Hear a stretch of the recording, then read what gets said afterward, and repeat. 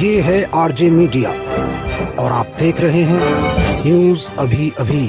खबर, तहकीकात, हकीकत।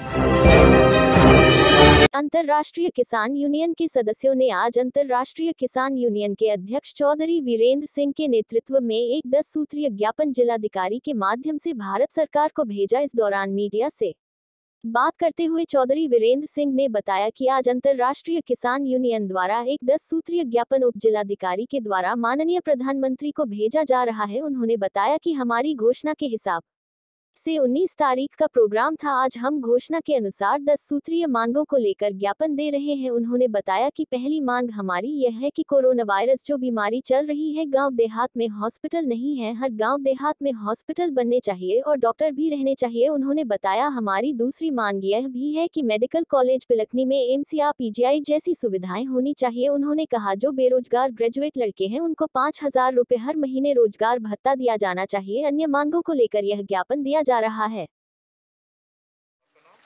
मेरा नाम चौधरी वीरेंद्र सिंह गुजर। आज अंतर्राष्ट्रीय किसान यूनियन के द्वारा 11 सूत्रीय मांगों को लेकर ज्ञापन दे रहे हैं। उप जिलाधिकारी देवबंद के द्वारा माननीय प्रधानमंत्री, भारत सरकार को आज ज्ञापन दिया जाएगा। आज हमारा घोषणा के हिसाब से 19 तारीख का प्रोग्राम था। तो आज हम उसी घोषणा के हिसाब से 10 सूत्रीय मांगों को लेके ज्ञापन दे रहे हैं। जिनमें सबसे पहली मांगे जो कोरोना जैसी बीमारी चल रही है, गाँव देहात में हॉस्पिटल नहीं है, हर गाँव में देहात में हॉस्पिटल बनने चाहिए, डॉक्टर रहने चाहिए। अगली मांग है हमारी, मेडिकल कॉलेज पिलखनी, एम्स या पीजे जैसी सुविधा होनी चाहिए।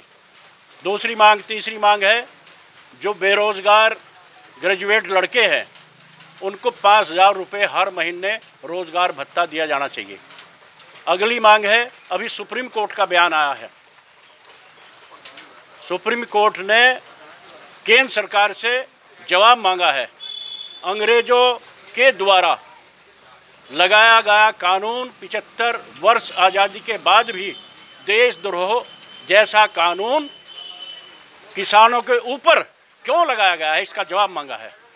उसका भी हमने मांग की है कि अंग्रेज़ों के लगाए हुए कानून वापस होने चाहिए।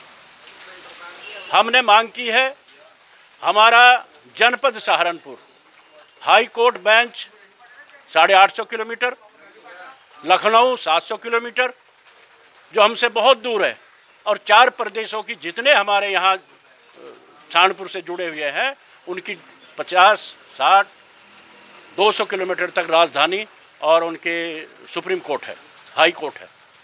तो हम ये मांग कर रहे हैं कि हमारे जनपद सहारनपुर को उत्तराखंड में शामिल किया जाए और या फिर हरियाणा में शामिल किया जाए।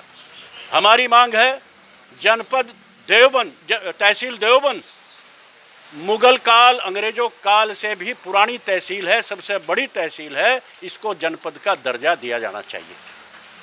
इस तरह की हमारी ग्यारह मांगे हैं।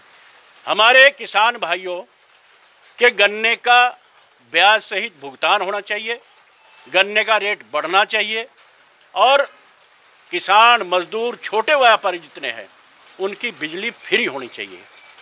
ये हमारी ग्यारह मांगे हैं, और आज हम ज्ञापन दे रहे हैं। अगर सरकार इन पर ध्यान नहीं देती, हम जन जागरण अभियान चलाने का काम करेंगे।